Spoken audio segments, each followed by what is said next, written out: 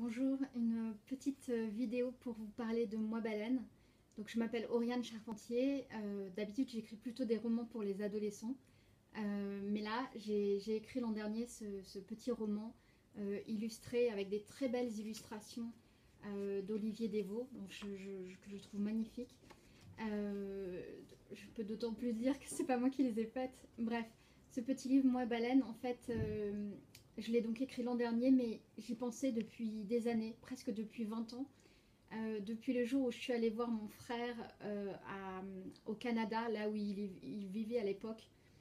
Et quand, quand j'y suis arrivée, j'ai visité euh, les villes de Québec et de Montréal. C'était super. Et là, il me dit, mais tu devrais aller à Tadoussac voir les baleines. Et donc, il m'a réservé un bus et j'ai pris ce bus pour aller dans cette toute petite ville. Et là, sur l'embouchure du, grand fleuve Saint-Laurent, euh, j'ai pris un petit bateau et, j'ai vu des baleines euh, de très près. Euh, voilà, c'était une rencontre très émouvante qui m'a énormément marquée.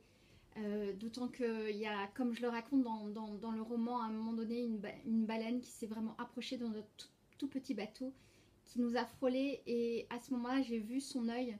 Et hum, c'était très émouvant parce que j'avais l'impression qu'il y avait une sorte d'échange qu'il y avait une pensée dans cet œil en fait. Euh, donc voilà, donc depuis j'avais envie d'écrire un roman euh, dont le héros serait une baleine.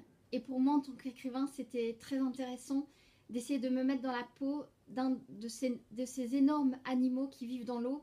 Euh, nous les êtres humains ça nous arrive de nager sous l'eau mais un, ce n'est pas notre univers, ce n'est pas notre monde, on est très vite bloqué, on manque d'air, on, finalement, la, pression nous, écrase les oreilles. Enfin, mais les baleines, eux, c'est leur, euh, cours de récréation, c'est leur monde. Et j'avais envie de m'imaginer qu'est-ce que c'est qu'être une baleine, comment on sent les choses, comment on voit le monde en étant une baleine. Donc voilà, et euh, je me suis aussi inspirée de choses, enfin de documents que j'ai vus à la télévision. Euh, notamment, il y a un, petit film amateur que vous trouvez sur internet, sur YouTube, vous voyez comment des baleines à bosse, euh, qui est l'espèce de baleine dont, je parle dans le roman, comment il, euh, parfois ils, sauvent des, autres mammifères marins qui ne sont pas euh, de leur espèce, comme des, phoques par exemple. Et, ça aussi, ça m'avait beaucoup touchée. Donc voilà, pour toutes ces raisons, j'ai eu envie d'écrire ce livre. J'espère que ce petit éclairage vous a plu. Au revoir.